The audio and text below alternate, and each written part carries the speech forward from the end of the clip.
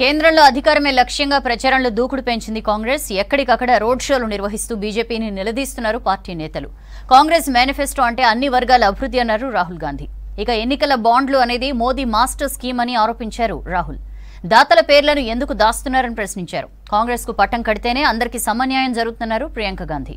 మరోవైపు వివిధ రాష్ట్రాల్లో కాంగ్రెస్లోకి భారీగా చేరికలు కొనసాగుతున్నాయి.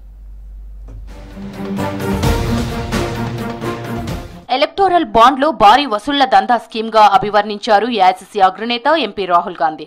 ఎన్నికల ప్రక్రియలో పారదర్శకత కోసం ఈ స్కీమ్ను బీజేపీ ప్రభుత్వం తీసుకువస్తే దాతల పేర్లను ఎందుకు దాస్తున్నారని ప్రశ్నించారు.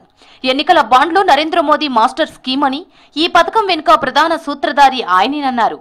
సుప్రీంకోర్టు ఎన్నికల బాండ్ల వివరాలు కోరిన తరువాత కూడా డేటా విడుదలను అడ్డుకుంటున్నది ఎవరని ప్రశ్నించారు రాహుల్.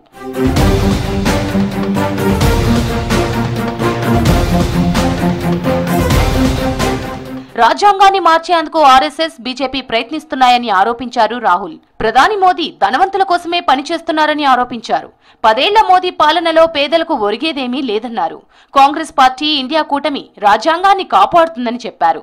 రెండో రోజు వైనాడ్ నియోజకవర్గంలో రోడ్ షోలో పాల్గొన్నారు Rahul.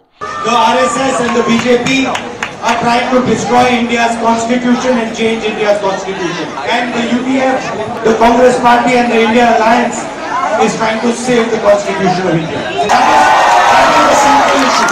Mr. Narendra Modi is the instrument of five or six of India's biggest, richest business people. ఎన్నికల వేళ ప్రజలందరూ కాంగ్రెస్ మేనిఫెస్టో చదవాలని అన్నారు రాహుల్ అన్ని వర్గాల ప్రజల అభివృద్ధి కోసం మేనిఫెస్టో రెడీ చేశామన్నారు మహిళలు రైతులు యువకులు కార్మికుల అభివృద్ధి కోసం ఒక స్పష్టమైన వ్యూహం రచించామన్నారు కేరళలోని మల్లాపురంలో నిర్వహించిన ఎన్నికల ప్రచార ర్యాలీలో పాల్గొన్నారు Rahul Gandhi is that we have millions